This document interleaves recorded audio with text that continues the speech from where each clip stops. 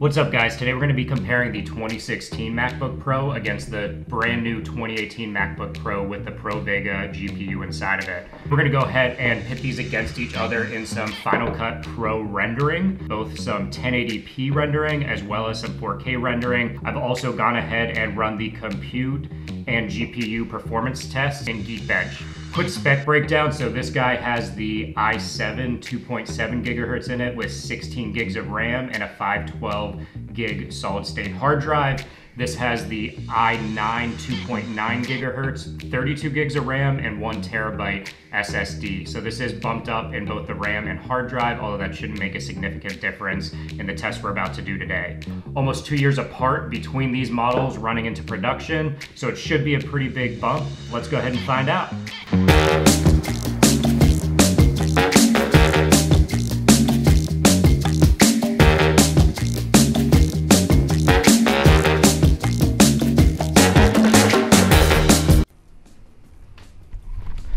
Something just got delivered. Let's go check it out. This was surprising to me because I actually ran the render test first and then I ran Geekbench.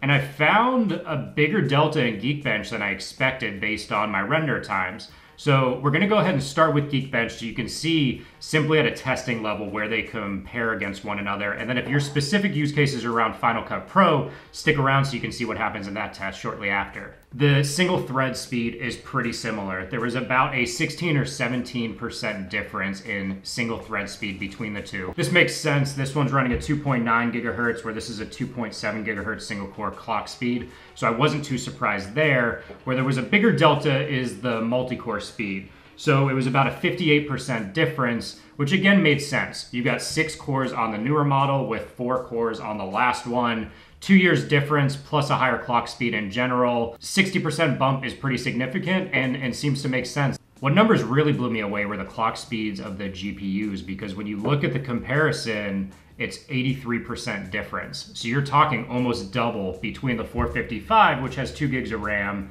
and the Pro Vega 20, which has four gigs of RAM. And there may be enough here to want to upgrade if you're doing GPU intensive tasks. So stick around if you're a Final Cut user. Let's take a dive into how those rendering tests performed. One of the major things I want to talk about is how I transferred this guy over to this guy because I think I can save you a lot of time in that process. Typically in the past, I've simply taken a time machine backup of whatever computer I'm coming from and just import that into the computer I'm going to, whether that's rebooting using uh, Command R and going into the recovery mode, or simply using Migration Assistant. I've been able to take a time machine backup from nearly any PC and move it to the new one. That's worked coming from the older gen MacBook Pros to this one. It's also worked going from this 2016 to a 2018 13 inch that I had at one point in time. So for some reason, that wouldn't work with this. I think I'm finally making some progress transferring everything over, but it's taken over 35 minutes at this point just to recover OS X on here so I can start to use it. I started off by taking my time machine, which I have hooked up to my router and it runs over the network for backups, plugged it in directly as I booted up the MacBook for the first time here, and it just would not recognize any of those backups. It did find this one on the network, but I figured that was going to be a lot slower than running through the Time Machine SSD. I plugged it back into the network. It found the backup at that point. I was able to recover it, but it was going to take uh, eight hours, I think. So there's no way I was going to sit here and wait eight hours for it to back up a hard drive to the new machine. So I then proceeded to try the peer-to-peer, where it actually creates a Wi-Fi connection between the two laptops directly and transfers that way. That was going to take 16 hours. So I started doing some research online because I assumed these both having Thunderbolt, there could be a much better way to transfer this. Even when I plugged these two in and tried Migration Assistant on both of them, it still wouldn't work. Finally, after reading some tips and tricks online, what I found was you plug these guys in together, you reboot the one you're coming from. Hold down T as it's rebooting. This puts it into target disk mode. It's essentially a plug-in hard drive at that point. Then start Migration Assistant on the new computer. At that point, it's going to recognize this hard drive. It's also going to be able to go over Thunderbolt. That whole process took maybe an hour. So I cut it down from 16 hours peer to peer eight hours over the network to simply one hour backup, which is about what I expected, hooking these two up directly over Thunderbolt. So quick tip right there to help save you time if you are going from an older MacBook to a newer model and it doesn't recognize them with Time Machine backups. All right, so let's dive into the Final Cut Pro X rendering test now. Again, we're gonna compare some 1080p footage rendering as well as some 4K footage rendering. Before we do that, let's again just remind you that we saw an 83% GPU bump and a 58% CPU bump when we did the Geekbench tests. We'll go ahead and do the Final Cut Pro X rendering test, and then last but not least, we'll take a look at the disk speed using Blackmagic, so we can compare that as well. And then we'll take a look at everything kind of compiled together. Is it worth going to the Pro Vega if you're a video or film creator and you want the extra GPU power that it packs? So starting off with the 1080p video rendering, I chose a five minute video I created and I was actually surprised at the results I saw. So on the 2016 model, it rendered in four and a half minutes. On the 2018 model, it rendered in three minutes and 15 seconds. So overall, this is 138% faster than this one. You're getting a 38% bump in performance by upgrading to this guy. That's a pretty big gap between what we saw in the Geekbench scores and actual real world results when we're rendering videos. Maybe 4K is better. Let's see how that stacks up. So 4K video, I chose one that was six and a half minutes. A little bit beefier video, really get into that rendering, see how long it takes. On the 2016 model, it took 15 minutes. On the 2018 model, it took 11 minutes. So again, that's only about 136% faster. You're getting a 36% bump.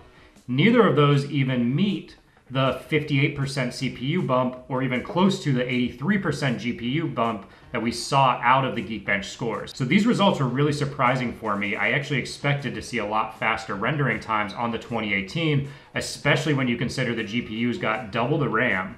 So I'm starting to question my purchase decision and wonder if this guy's really worth the upgrade because we're getting the Geekbench scores we expected, but we're not seeing the rendering increases I expected. So last but not least, let's take a look at the Blackmagic hard drive tests to see if there's any difference as well that could be playing into account with these rendering times. Remembering this has the 512 gigabyte hard drive 2016 model and the 2018 has the one terabyte, although there shouldn't be a significant difference just because of the disk size.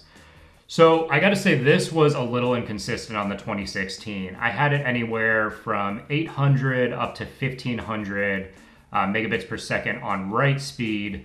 And this one was a lot more consistent. So we saw it around 2200 up to probably a peak of 2600 write speed, and then a pretty consistent read speed of 2600. Over here, the read speed was more consistent. So on the 2016 model, it was around 2200. It was really that write speed that was throwing me off because again, I ran it and I saw 800 a few times. I also saw up to 1500. 1500 was the max write speed I saw, where again, the 2018 comes out a lot faster in that regard. This is two years old. I'm not too surprised that the write speed's a little bit slower. You'd really think that because this is twice as fast, that's gonna aid to the rendering speeds of videos. But again, all we saw was about a 35, 36% bump in the overall rendering speeds of the videos. All right, so that's it guys. That's the comparison between the 2016 MacBook Pro stacked against the brand new 2018 with the Pro Vega 20 GPU in it. I wasn't as impressed as I thought. The Geekbench scores had me really excited, but when I saw the actual rendering test, which is really what I'm gonna use it for, I'm on the fence. Part of me thinks I should return it. The other half thinks maybe that increased speed over time does add up. Let me know what you guys think. Ask me any questions, any feedback you'd like on this. If you want any tips and tricks, I've got this one for another few days before I have to return it. I did do the trade up program so I can sell this back to Apple to pay for some of the hefty price tag of this guy. So that's my plan here, although I'm still on the fence of whether I should even keep this one or not based on the rendering I saw. Let me know what else you guys want to see. Go ahead and smash that subscribe button as usual. I've got plenty more to come. I look forward to you guys next time. See ya.